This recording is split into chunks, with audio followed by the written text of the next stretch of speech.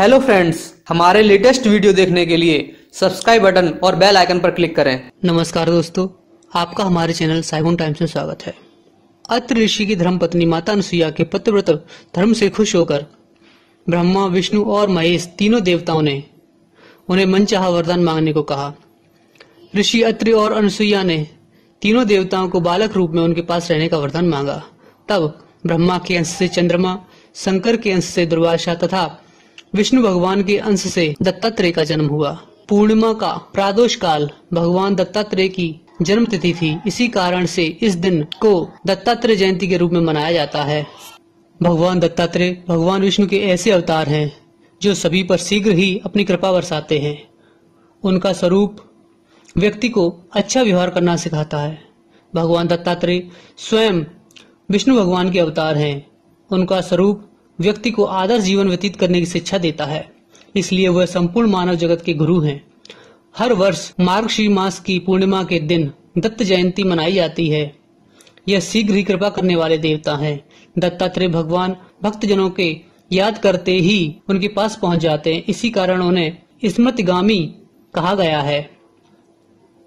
उनमें ईश्वर और गुरु दोनों स्वरूप समाहित हैं और इसी कारण से उन्हें पर ब्रह्म मूर्ति सदगुरु और श्री गुरुदेव दत्त भी कहकर पुकारा जाता है। भगवान शिव और भगवान विष्णु दोनों ही मतों को मानने वाले श्री दत्तात्रेय भगवान की पूजा करते हैं।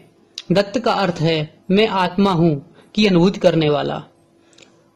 हर एक मनुष्य में आत्मा का वास होता है, इसलिए हर प्रकार की गतिविधियों में सक्रिय रहता है। इनका स्मरण करते हुए हम सब पाते हैं कि सभी व्यक्तियों के अंदर भगवान का वास है। और उनके बिना हम अपने अस्तित्व और जीवन की कल्पना भी नहीं कर सकते।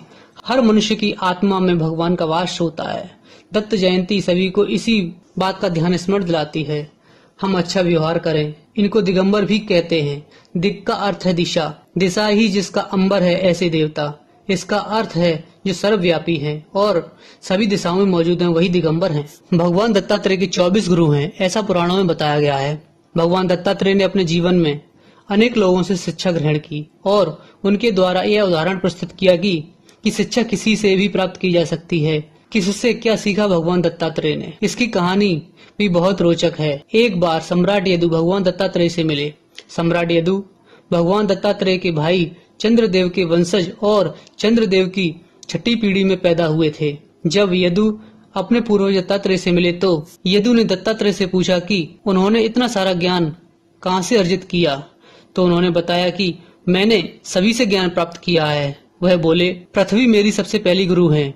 वृक्ष और पर्वत भी सभी दूसरों के हित में हमेशा लगे रहते हैं। उनसे हमेशा परोपकार की सीख लेनी चाहिए। उन्होंने कहा, पवन देव भी मेरे गुरु हैं, जो हमेशा बिना रुके चलते रहते हैं। उन्होंने कहा कि मैंने उनसे बिना घृणा, ईर्ष्या, भेदभाव के सबको ताजगी प्रदान करना सीखा है।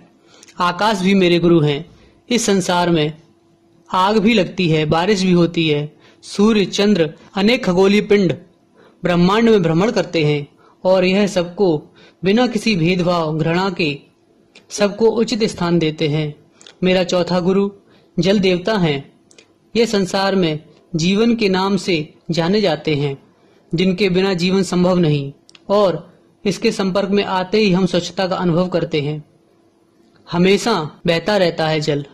और यदि यह एक जगह रुक जाए तो दूषित हो जाता है। इसलिए यह हमेशा बहता रहता है और सभी का भला करता रहता है। और हमें भी इसी तरह सभी की सहायता करनी चाहिए। छोटे से छोटे जीव मात्र से भी कुछ न कुछ सीखा जा सकता है। उनके अनुसार हमें हर उस व्यक्ति या वस्तु या जीव से शिक्षा लेनी चाहिए जिससे जितना भी सीखने को मिले, उससे सीखने में संकोच न करें। भगवान दत्तात्रेय के गुरुओं में पृथ्वी, अग्नि, जल, चंद्रमा, आकाश, सूर्य, कपोत, अजगर, सिंधु, पतंग, भ्रमर, मधुमक्खी, मृग, मीन, पिंगला कुकर पक्षी और भृंगी शामिल हैं। इनका मुख्य स्थान कर्नाटक के बेलगाम में स्थित है। दत्तात्रेय को गुरु के रूप में मान उनकी पादुका को नमन किया जाता है। दोस्तों, आपको ये वीडियो पसंद आए तो लाइक करें, शेयर करें और हमारे चैनल को सब्सक्राइब करें।